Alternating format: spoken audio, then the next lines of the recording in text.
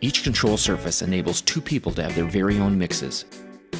24 channels, plus four additional accessory channels, along with separate fantastic sounding headphone amplifiers for each mix.